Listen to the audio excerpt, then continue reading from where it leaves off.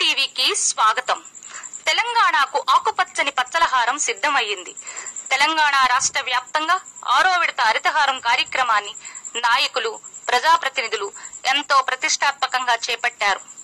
చేయి చేయి కలుపుదాం మొక్కలు నాటుదాం అంటూ కేసీఆర్ కన్న గల బంగారు తెలంగాణను సాధిద్దామంటూ కార్యక్రమాన్ని ఈ రోజు దమ్మాయిగూడ మున్సిపాలిటీ పరిధిలోని అహ్మద్గూడలో ఆరో విడత హరితహారంలో భాగంగా రాష్ట్ర మంత్రివర్యులు Mallareddy CDMA Satyanarayana Reddy commissioner Swamy chairman Praneetha Srikanth Goud vice chairman Narender Reddy DE Sumathi ఆరో వార్డు కౌన్సిలర్ కొత్త హేమలత శ్రీనివాస్ గౌడ్ చెట్లను నాటడం జరిగింది.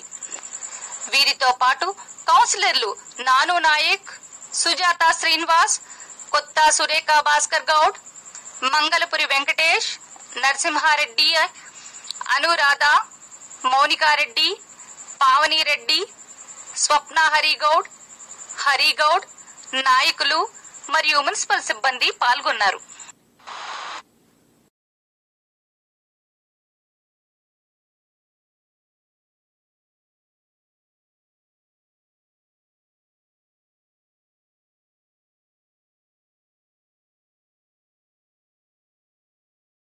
మా వీడియో గనక నచ్చినట్లయితే లైక్ చేయండి షేర్ చేయండి కామెంట్ చేయండి.